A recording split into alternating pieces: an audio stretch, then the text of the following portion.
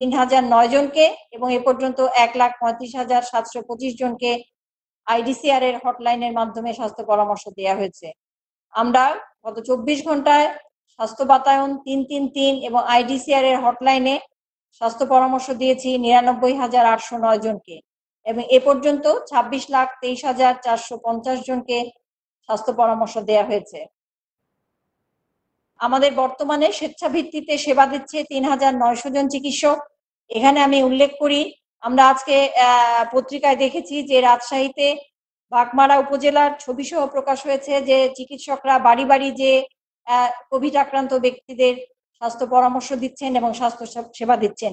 সেই সব চিকিৎসকের প্রতি কৃতজ্ঞতা এবং ধন্যবাদ জানাই এবং আমরা মনে করি এটি একটি উদাহরণ। অন্য জায়গাও এই উদাহরণকে কাজে লাগিয়ে চিকিৎসকরা বাড়ি বাড়ি যে কোভিড আক্রান্ত ব্যক্তিদের চিকিৎসা সেবা দিতে পারবেন বা পরামর্শ দিবেন। মোবাইল ফোন এবং ওয়েবসাইটেও আমরা স্বাস্থ্য পরামর্শ দিয়ে থাকি, যেটা মোবাইল ফোনের মাধ্যমে গত চব্বিশ ঘন্টায় নয় হাজার পাঁচশো সাত জনকে দেওয়া হয়েছে এবং এ পর্যন্ত এগারো হাজার, এগারো লাখ আটান্ন হাজার ছয়শো উনষাট জনকে মোবাইল ফোনের মাধ্যমে স্বাস্থ্য পরামর্শ দেওয়া হয়েছে। অ্যাপ এবং ওয়েবসাইটের মাধ্যমে চব্বিশ ঘণ্টা একশো ছয় জন এবং এ পর্যন্ত সাত হাজার পাঁচশো সতেরো জনকে এই সেবা দেওয়া হয়েছে। চব্বিশ ঘন্টায় মোট সেবা দেওয়া হয়েছে বা স্বাস্থ্য পরামর্শ দেওয়া হয়েছে ন হাজার ছয়শো তেরো জনকে এবং এ পর্যন্ত এগারো লাখ ছেষট্টি হাজার একশো ছিয়াত্তর জনকে দেওয়া হয়েছে। আমাদের যে ওয়েবসাইটগুলো আছে, আমরা নিয়মিতভাবে বলে থাকি W W dot corona dot G O V dot B D এই ওয়েবসাইট থেকে লক্ষণ শনাক্তকরণ সেবা পাওয়া যায়। এটা ডাউনলোড করে আপনারা এই সেবা পেতে পারেন। গত চব্বিশ ঘন্টায় বিমানবন্দরে স্ক্রিনিং হয়েছে তিরিশ জন এবং এই পর্যন্ত তিন লাখ বাইশ হাজার নয়শো চার জনকে বিমানবন্দরে স্ক্রিনিং করা হয়েছে।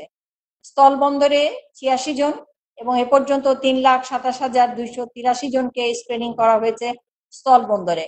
সমুদ্র বন্দরেও আমাদের গতকাল স্ক্রিনিং হয়েছে চব্বিশ ঘন্টায় অষ্টআশি জন এবং এ পর্যন্ত তেরো হাজার আটশো চৌষট্টি জনকে সমুদ্র বন্দরে স্ক্রিনিং করা হয়েছে।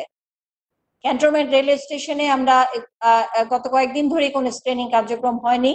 তবে এ পর্যন্ত ক্যান্টনমেন্টে স্ক্রিনিং হয়েছে সাত হাজার উনত্রিশ জন। এবং চব্বিশ ঘন্টায় সকল বন্দর মিলে আমরা চব্বিশ ঘন্টায় স্ক্রিনিং হয়েছে দুই হাজার চারজন দুঃখিত দুইশো চারজন এবং এ পর্যন্ত ছয় লাখ একাত্তর হাজার আশি জনকে স্ক্রিনিং করা হয়েছে সমস্ত বিমান বন্দরের মাধ্যমে।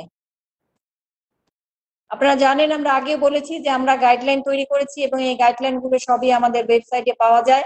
এই গাইডলাইনগুলো আপনারা অনুসরণ করে যে কোনো সেবা, যে কোনো পরামর্শ এখান থেকে গ্রহণ করতে পারেন। দক্ষিণ পূর্ব এশিয়ার যে পরিস্থিতি, আমরা বিশ্ব স্বাস্থ্য সংস্থা সিচুয়েশন রিপোর্ট ষোলো এপ্রিল পেয়েছি। সেটা হলো গত চব্বিশ ঘন্টায় শনাক্ত হয়েছে এক হাজার পাঁচশো তিন জন এবং এ পর্যন্ত একুশ হাজার সাতশো নব্বই জন। মৃত্যুবরণ করেছেন চুয়ান্ন জন এবং এ পর্যন্ত নয়শো নব্বই জন। বিশ্বের কোভিড পরিস্থিতি, যেটাও বিশ্ব স্বাস্থ্য সংস্থা সিচুয়েশন রিপোর্ট ষোলো এপ্রিল থেকে পেয়েছি, শনাক্ত হয়েছেন ছিয়াত্তর হাজার ছয়শো সাতচল্লিশ জন এবং এ পর্যন্ত উনিশ লাখ একানব্বই হাজার পাঁচশো বাষট্টি জন। মৃত্যুবরণ করেছেন চব্বিশ ঘন্টায় সাত হাজার আটশো পঁচাত্তর জন এবং এ পর্যন্ত এক লাখ তিরিশ হাজার আটশো পঁচাশি জন। এই কোভিড আক্রান্ত হয়ে মৃত্যুবরণ করেছেন সারা বিশ্বে। আমাদের মাননীয় মন্ত্রী মহোদয়, আপনাদের পরামর্শ দিয়েছেন এই কোভিড প্রতিরোধের বিষয়ে। সেগুলো আবারও পুনরাবৃত্তি করি কারণ আমরা এখনও সবাইকে ঘরে রাখতে পারছি না। সবাই ঠিকমতো স্বাস্থ্যবিধি আমরা মেনে চলছি না। আপনারা জানেন যে গতকাল আমাদের মহাপরিচালক মহোদয় স্বাক্ষরিত একটি ঘোষণা দেওয়া হয়েছে যে সারা বাংলাদেশ ঝুঁকিপূর্ণ। এই ঝুঁকির হাত থেকে আমরা যদি মুক্ত থাকতে চাই, তবে অবশ্যই আমাদের এই পরামর্শগুলি মেনে চলতে হবে। বাড়িতে থাকুন, ঘরে থাকুন, নিজে সুস্থ থাকুন, পরিবারকে সুস্থ রাখুন। বারবার সাবান পানি দিয়ে বিশ সেকেন্ড ধরে নিজে হাত ধুন, পরিবারের সকলকে হাত ধোয়ার জন্য উৎসাহিত করুন। একজন থেকে আরেকজনের মধ্যে কমপক্ষে তিন ফুট শারীরিক দূরত্ব বজায় রাখুন। সর্দি কাশি হলে বা খুব জরুরি প্রয়োজনে বাড়ির বাইরে যেতে হলে অবশ্যই মাস্ক ব্যবহার করুন। ঘরে তৈরি তিন স্তর বিশিষ্ট কাপড়ের মাস্ক ব্যবহার করা যায়। যারা কোয়ারেন্টাইনে আছেন, তারা কঠোরভাবে কোয়ারেন্টাইনের শর্তগুলো মেনে চলুন। জরুরি প্রয়োজনে বাড়ির বাইরে যেতে হলে ফিরে এসে কোনো কিছু স্পর্শ করার আগেই ভালো করে হাত ধুয়ে নিন। সম্ভব হলে পরিধেয় বস্ত্র, সাবান, পানি দিয়ে আধ ঘণ্টা ভিজিয়ে রেখে ধুয়ে ফেলুন। সামান্য জ্বর, কাশি, সর্দি, গলা ব্যথা, শ্বাসকষ্ট হলে বাড়িতেই চিকিৎসা নিন অথবা আমাদের হটলাইন নম্বরগুলিতে ফোন করুন। গরম পানি কুসুম গরম পানি খাওয়ার অভ্যাস করুন এবং গরম পানিতে গার্গেল করুন। এই সকল পরামর্শ মেনে চললে আমরা অনেক ক্ষেত্রেই কোভিড সংক্রমণ থেকে নিজে মুক্ত থাকব, পরিবারকে মুক্ত রাখতে পারব এবং সমাজকে মুক্ত রেখে আমরা বাংলাদেশ কোভিড মুক্ত হতে পারব। আপনাদের সবাইকে অনেক অনেক ধন্যবাদ এবং কৃতজ্ঞতা জানিয়ে আজকের এই তথ্য বুলেটিন প্রোগ্রাম এখানেই শেষ করছি।